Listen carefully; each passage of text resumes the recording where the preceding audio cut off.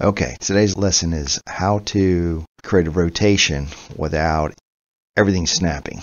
Okay, so what we're going to do here real quick, uh, we're going to draw a reference line to the Revit uh, center, left and right, and front and back. And what I'm going to do here is I am going to snap the endpoint of that reference line to there and I'm also going to show you if you just create a reference uh, planes outside, do not use these and do the same exact, uh, oops, my bad, create a reference plane on your new reference planes, do the same thing.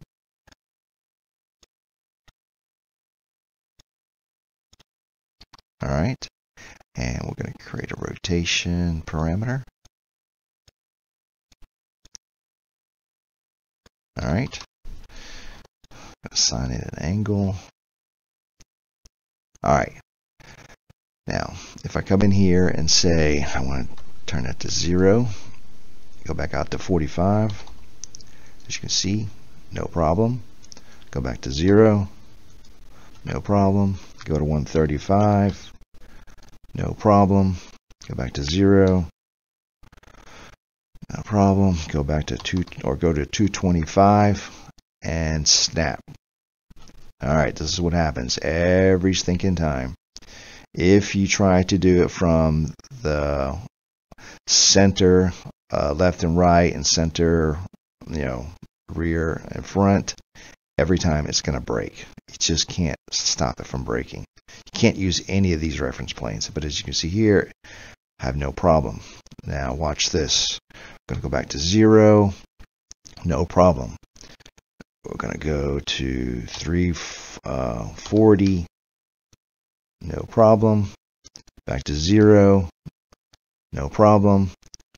I'm going to go to 360, no problem back to zero.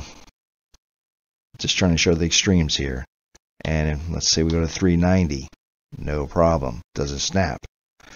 Now you may be thinking, hey, doesn't matter what quadrant I'm in? And the answer is no, it does not matter what quadrant you're in. Okay?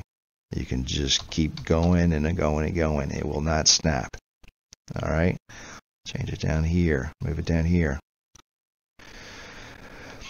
do the same thing. Go to zero, back out to 340, no problem. Okay, move it to the next quadrant. And as you can see here, it doesn't matter.